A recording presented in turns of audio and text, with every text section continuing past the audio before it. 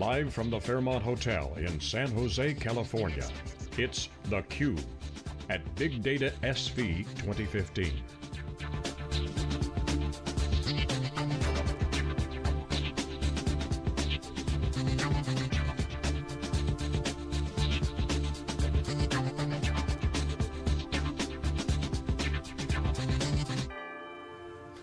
Hi everybody, welcome back to theCUBE. We are live in San Jose, Big Data SV during Big Data Week.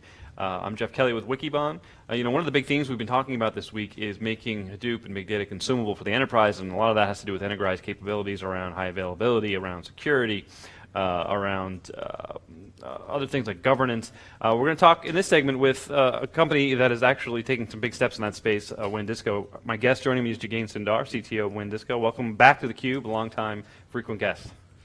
Thank you, Jeff.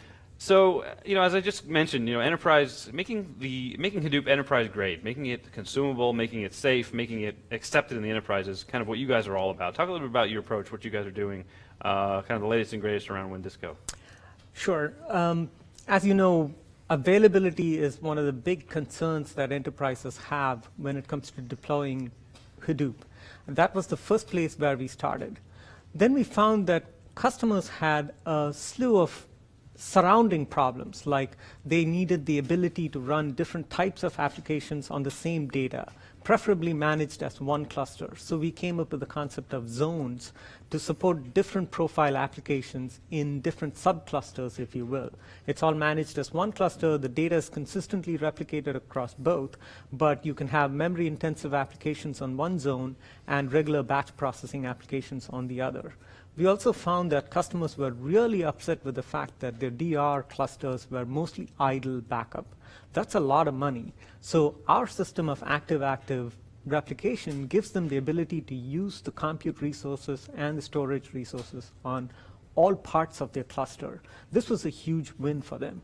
So this is the product that we started off with, Nonstop Hadoop. Mm -hmm. And um, from working with customers, as you probably know, we've announced three out of the 10 top financial institutions in the world have signed up for our um, software.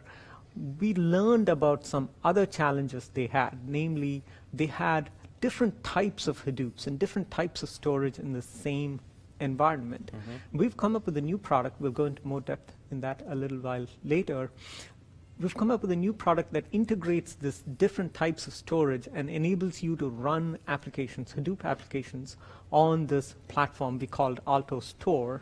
The ability to strongly, consistently replicate data across different types of storage placed in different parts of the world is very attractive to our customers. Mm -hmm. So you mentioned banks. Let's let's talk a little bit about that. I, I, definitely want to talk a little bit more about the uh, the product announcement, but I'm I'm curious. Um, why do you think you're gaining some traction in some of these large banks? What are the, what are, what's the profile of some of the, the workloads, some of the things they're trying to do, and how that fits with um, your software? Right. Um, so the first thing that you've got to remember is banks operate in different parts of the world. Their data is generated all around the world. Most analytics they want to run is an aggregation of all the data that's available. It's really not interesting to have data just from your own location analyzed. That was the first reason that they engaged with us. We gave them the ability to do strongly consistent replication across the wide area network. But once we got in there, we explained to them how our active-active setup enables them to run their entire cluster, not have half your hardware idling. And that was one big win for them. A lot of them are fully focused on keeping costs down. Hadoop costs can really um, increase if you've got vast amounts of idle hardware, for example. Um, so that was our entry point, and almost all of our conversations start with the ability to use the wide area network and lead into other interesting features that we bring to the table. Mm -hmm. Well, uh, this is interesting because in, in our last segment we were talking uh, about kind of where, where's the money going to be made in big data, and and one of the theories is well it's going to be made on on the infrastructure side and it's going to be made on the application side. It's going to be much more difficult to to make money kind of in in the middle with the database and the, and the algorithms and tools, which are all necessary but are becoming commoditized and can becoming open source in a lot of cases. So it's the apps on the one one end and and the infrastructure where you play. Um, important a couple areas. One is making it enterprise grade some of the things you talked about, high availability, being able to bring in data from across the world, um, and also being able to very quickly spin up new new applications on that infrastructure.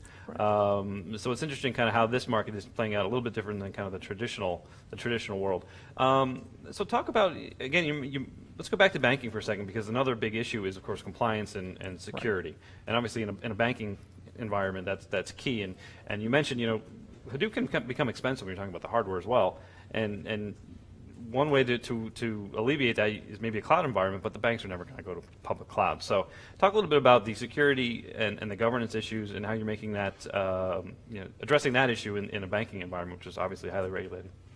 Right. So um, the first thing that we encountered when we started engaging with banks is that they have several countries that do not allow you to take their data outside of the country.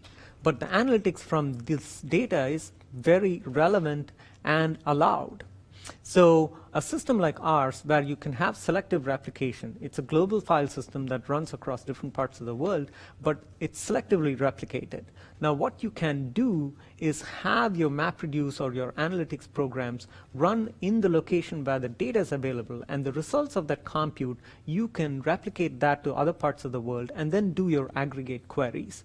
This is a very valuable tool for banks that operate all around the world and keeps them in strict compliance. And some of these compliance violations are very expensive. Folks in the banks are particularly careful. So we enable them in the infrastructure layer, this is not some batch processing distcp job that has to be carefully monitored to make sure you don't copy the wrong data to the wrong place.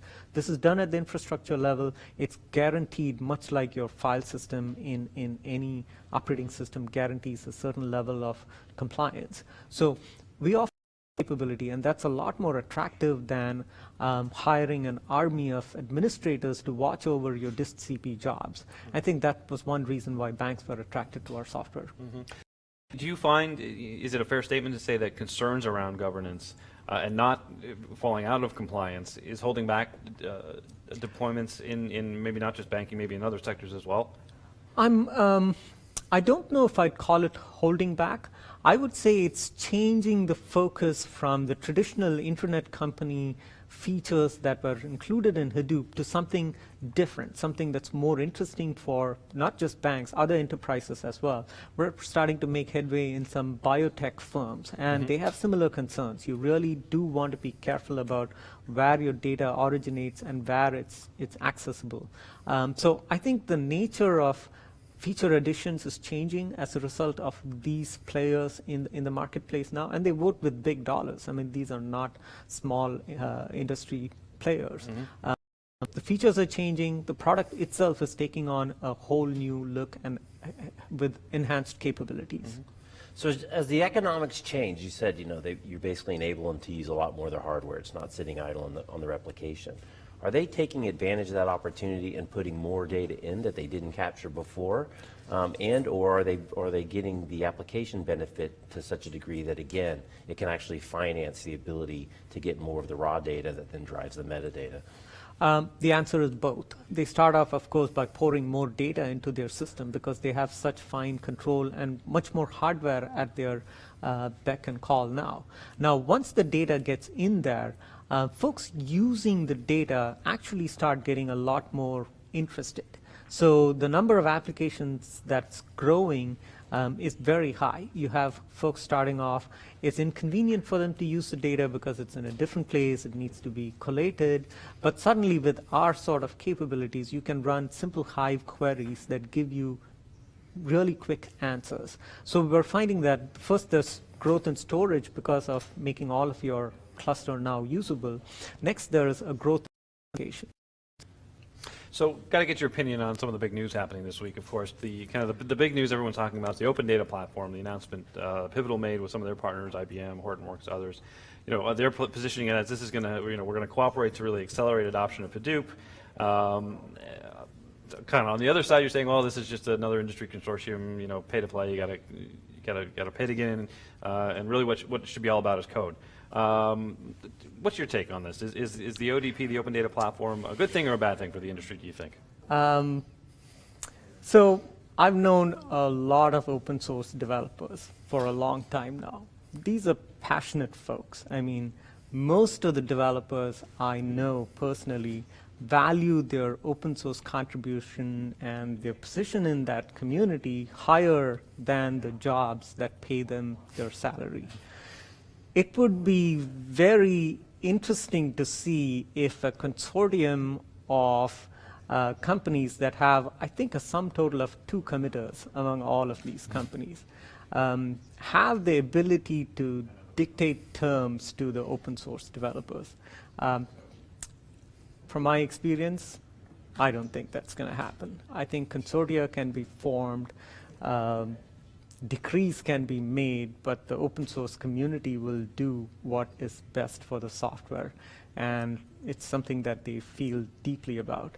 Um, i have, I have very close friends in the open source community, and these guys really do love the work they've done and, and care deeply about it. So um, I question the viability of a consortium that can dictate terms to the open source mm -hmm. developers. Well, I think that's one of the uh, well, the biggest question for me was, well, what is the open data platform going to be able to do that the open source community can't do? Um, and you know, they talked a little bit about you know the reason they they've stated that they think that the open data platform is needed is because you're seeing some fragmentation in the Hadoop space. Um, I think that's somewhat accurate, but I, I, don't necessarily agree. I don't necessarily I don't, I don't know, frankly, whether this is the approach that's going to solve that problem or not. Um, but you know, I think time will tell. Uh, and you got to, you know, if they live up to their to their kind of ideals and what they what they said they're going to focus on. So we'll see. Um, so running close on time, but you mentioned you've got a new release, AltoStor, which is, a, as you mentioned, a name that sounds a little bit familiar. Uh, so that's where you came from uh, originally, uh, WANdisco making the AltoStor acquisition, but now you've got a product Correct. with that. And tell me, tell us a little bit about uh, the announcement.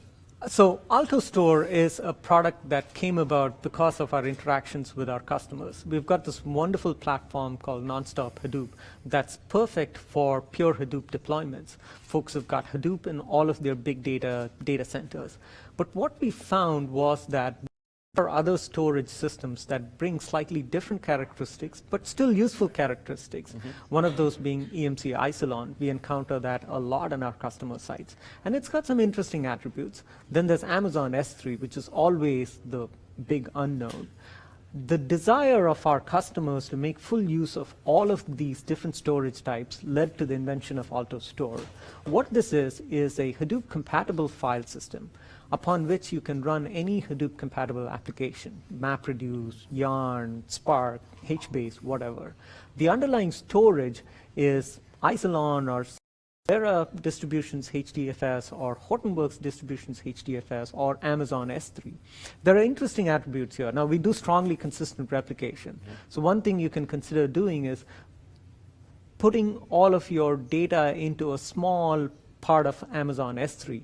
If you have a compute that requires maybe a thousand VMs, but it's run just once a week, don't have the capacity for that in your in-house data center.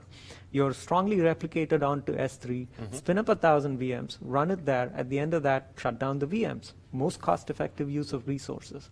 Or perhaps you have an application that requires very high shuffle performance. Storage systems such as Isilon offer those capabilities. Have a small part of your cluster built up of that type of storage. Now, what we guarantee is strong, consistent replication across all of those. You're not mucking with a bunch of shell scripts that run distcp and trying to keep it in, in, in consistent mm -hmm. form. So that's AltoStor. We're seeing tremendous, and, and users are coming to us with different cases. You know, They're telling us, we don't have different types of Hadoops, but we do have different versions of Hadoops. And we want to use your software to upgrade from mm -hmm. one version to the other, bring down one data, the rest is still running, bring up a new version of the software, run your application, test, make sure everything is fine, mm -hmm. and then decommission the old one. We do that with one Hadoop, sorry, AltoStor as, mm -hmm. as the platform. And you end up with a really easy path to migrating between versions of the software. Mm -hmm. So we're very excited and about is that, is that a big pain point you've, you've heard about from enterprises, is, is migrating uh, from one, one version to the next? Indeed, it is a big pain point because it's not just the infrastructure. The applications have some level of dependencies, mm -hmm. and then mm-hmm. people write Hive jobs and Oozie jobs that run on top of that. So for the entire stack to be validated and upgraded is a painful process. It was a non-issue for all the years past because people were moving slowly from POC to production. Now there are a lot of large data lakes comprised of Hadoop components and a lot of applications running on it. So you can't flip the switch on a whim. You really need to plan upgrades um, between Hadoop versions, not even moving from one version of, you know, one distribution of Hadoop to the other. Just between the same vendors' distributions is a painful process. That's, and I think that's a it's a good illustration of the you know we, we talk about a lot you know Yarn last year got a lot of a lot of the attention and now you can run a lot of different applications on your Hadoop cluster but there are other implications for that True. Um, and, and that's one of them so you have to take that into consideration I think that's one of the issues that enterprises are struggling with trying to understand how to manage this environment when as the, the platform itself is evolving so rapidly. That's, that's very true. Um, the other thing that we keep encountering at customers itself, they do value both Cloudera and Hortonworks as distributions, but a lot of them are making sure that their applications run well on both distributions. And I'll leave that matter to the interpretation of viewers. Absolutely.